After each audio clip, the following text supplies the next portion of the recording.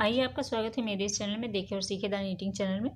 Video शुरू करने से पहले आपको बता दूँ, अगर आप मेरे चैनल में नए हैं तो प्लीज़ मेरे चैनल को सब्सक्राइब कर लें, साथ में एक घंटी आएगी, उसे भी दबा लें, ताकि मैं जो भी वीडियो डालूँ, उसकी नोटिफिकेशन आपको मिलती रहे। तो चलिए, आज हम क्रोसिया से बनाने वाले हैं ओरियो बिस्किट। तो इसे किस तरह से बनाना है, वो आज मैं वीडियो में बताऊँगी आपको। तो इसके लिए सबसे पहले हम क्रोसिया लेंगे यहाँ पे 2.5 पॉइंट एम क्रोसिया आपके पास ये नहीं है तो बारह नंबर या ग्यारह नंबर भी क्रोसिया ले सकती हैं। लेकिन यहाँ पे फोर प्लाई ही ऊन लेंगे, जो गोले वाली ऊन आती है, इस तरह के। इस ऊन से बनाएँगे तो बहुत अच्छा बनेगा ये। तो चलिए इसे शुरू करते हैं बनाना। तो सबसे पहले हम यहाँ पे मैजिक रिंग बनाएँगे। इस तरह से लेंगे। ऐसे इसे फोल्ड करना है मैजिक रिंग बनाने के लिए। ऐसे किया। ये वाला धागा इधर से खींच के लाएँगे।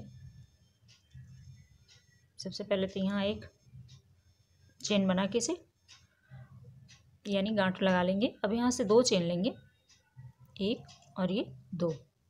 देखिए। अब जो रिंग बनी हुई है, इसके अंदर हमें टोटल बारह डबल क्रोसिया करना है।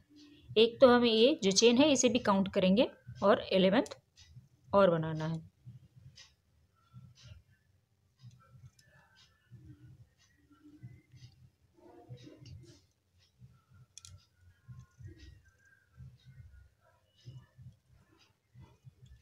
इसी तरह से करते हुए हम ट्वेल्व डबल क्रोशिया करेंगे इस मैजिक रिंग के अंदर। तो चलिए ट्वेल्व डबल क्रोशिया कर लेते हैं, फिर आगे दिखाती हूँ आपको। तो देखिए, ट्वेल्व डबल क्रोशे हमारे कंप्लीट हो गए हैं। अब इसे छोटा सा धागा दिख रहा है आपको, ये छोटा सा जो धागा है, इसे पकड़ के हम इस तरह से खींचेंगे। तो ये गोलाई में बन जाएगी आपकी। तो देखिए, इस तरह से गोलाई बन जाएगी। अब जो हमने थ्री की चेन बनाई थी सबसे पहले तो सबसे ऊपर वाले टॉप वाले चेन पे जाके, यानी वन टू छोड़ के थ्री नंबर चेन पे डालते हुए यहाँ पे सिंगल क्रोसिया कर लेंगे इस तरह से। अब यहाँ से थ्री चेन बनाएँगे। वन टू और ये थ्री थ्री चेन बनाने के बाद सेम इसी जगह पे डालेंगे क्रोसिया और एक डबल क्रोसिया बनाएँगे।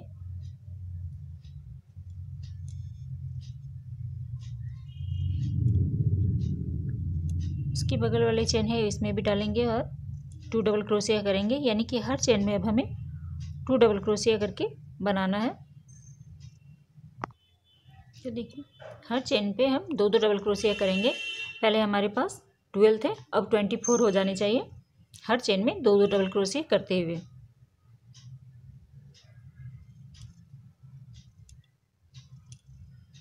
चलिए, हर चेन में हम दो दो डबल क्रोसिया कर लेंगे। Total twenty four double crochet करेंगे हम इस राउंड में। तो चलिए ट्वेंटी फोर डबल क्रोसिया कर लेते हैं, उसके बाद दिखाते हैं आगे आपको। ये देखिए टोटल हमारे पास ट्वेंटी फोर डबल क्रोसिया हो गए यानी चौबीस डबल क्रोसिया पहले बारह बनाया हमने, फिर उसके बाद हमने उसे हर चेन पे डबल करते हुए दो दो क्रोसिया करते हुए डबल क्रोसिया यानी चौबीस किया हुआ है। अब यहाँ पे सिंगल क्रोसिया से इसे जोड़ लेंगे सॉरी स्लिप स्टेज से। तीसरे नंबर चेन पे डालेंगे और इस तरह से इसे यहाँ पे धागा कट कर लेंगे और धागा काटने के बाद इसे धागे को अंदर छुपा देना है। अच्छे तरीके तो देखिए, इस तरह से आपको ब्लैक कलर के दो बनाने हैं आपको इस तरह के टिक्की और एक वाइट कलर का बनाएँगे। तो मेरे पास तीन बन गए, एक अभी बनाया, दो पहले बना हुआ था। देखिए, अभी इसे किस तरह से सिलना है वो ध्यान से देखिएगा। तो मैंने यहाँ पे बना के रखा हुआ मैं आपको दिखाती हूँ। देखिए।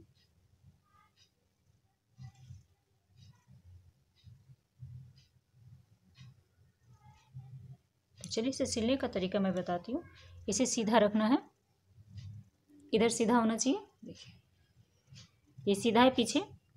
फिर बीच में रखेंगे इसको वाइट को। ऐसे सीधे अपनी तरफ़ रखेंगे इसे। और फिर एक इधर ब्लैक कलर को इसे भी सीधा रखेंगे। इधर उल्टा है, इधर सीधा है। इस तरह से, तीनों को बीच में इस तरह से रखना है।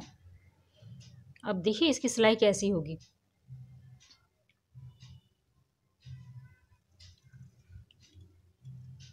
सुई पे मैंने ब्लैक कलर का ऊन लगा लिया हुआ। और यहाँ पे पीछे गांठ नहीं लगाना है आपको। अब देखिए सिलने का तरीका। एक चेन हम यहाँ से लेंगे। देख रहे हैं, चेन लिया हुआ हमने। चेन को पकड़ेंगे, आगे और पीछे दोनों भाग को पकड़ेंगे। फिर एक वाइट को लेंगे वाइट का चेन लेंगे। देखिए, इसे भी पूरी तरह से लेंगे चेन में, यानी दोनों धागों को। और एक फिर पीछे साइड का जो हमने रखा हुआ है, इस पट्टी को भी पकड़ेंगे, यानी ये गोलाई को। और उसकी भी दो चेन लेंगे। इस तरह से लिया हमने।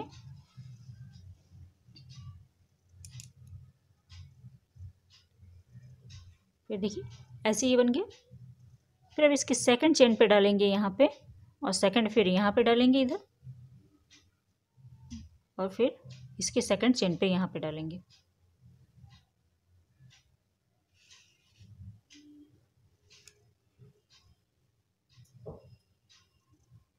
तरह से।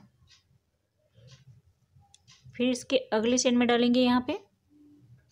फिर इसके अगली में डालेंगे यहाँ। और फिर यहाँ।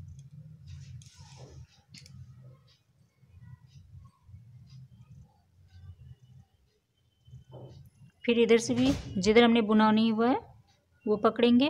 फिर ये चेन पकड़ेंगे, यानी हर चेन को हमें बुनाई करना है। लेकिन पकड़ते हुए छोड़ना नहीं है उसे देखिए इस तरह से पकड़ना है ताकि ये बीच में जो चेन है, वो भी पकड़ में आए। देखिए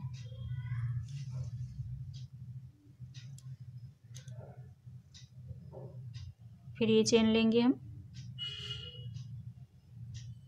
नेक्स्ट ये चेन लेंगे हम और फिर एक ये चेन लेंगे।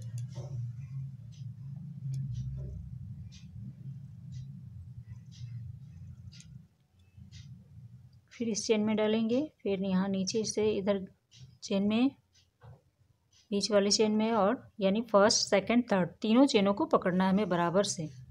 यह ध्यान रखना है, ज़्यादा टाइट करके नहीं करना है हमें। हल्के हाथों से ऐसे सिलेंगे हम।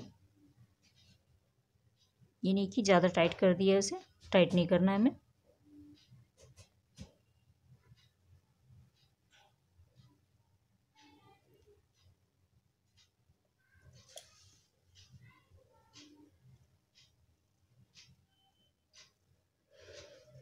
धागे को जब हम पूरे सिलने के बाद धागे को साइड में ले जाके नहीं काटना है इसे, अंदर की ओर से कहीं से निकाल के धागे को साइड करेंगे, उसके बाद हम धागे को काटेंगे।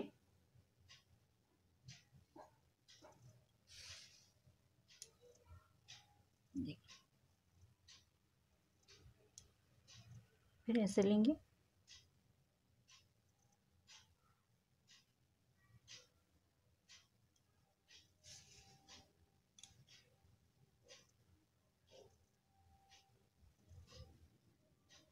ताकि आप बीच वाला चेन भी दोनों साइड से पकड़ेंगे तो बीच में ये चेन जैसे दिखाई देगी तो फिर ये अच्छा लगेगा देखने में भी।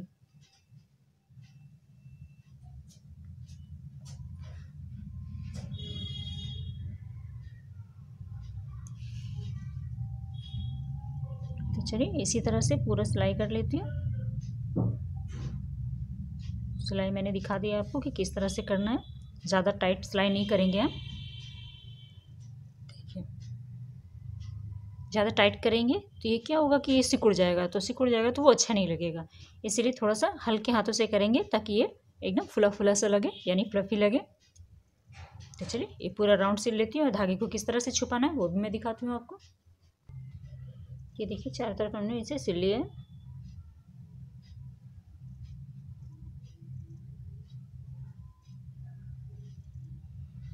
अब देखिए इसे किस तरह से छुपाएँगे। धागे को ऐसे लेना है और अंदर से निकालते हुए कहीं से भी इसे निकाल लेंगे हम। लेकिन जिस सेंटर पे हमने ख़त्म किया वहाँ पे हमें नहीं काटना है। इस तरह से। उसके बाद फिर हम इसे यहाँ कट कर देंगे धागे को। फिर ये पता नहीं चलेगा। ऐसे भी क्रोशिया से लेंगे और साइड में कहीं से भी इसे इस तरह से इसे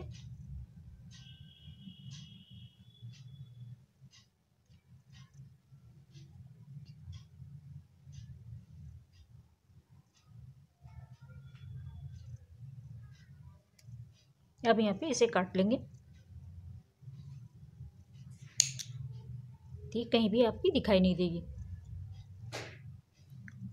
तो देखिए, कैसा लगा आज का ये वीडियो आप सबको?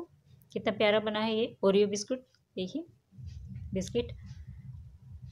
तो चलिए बनाइए और हमें कमेंट करके ज़रूर बताएँ कि आज का वीडियो आपको कैसा लगा। फिर मैं कुछ नया वीडियो लेके आती हूँ आपके सामने। Thank you.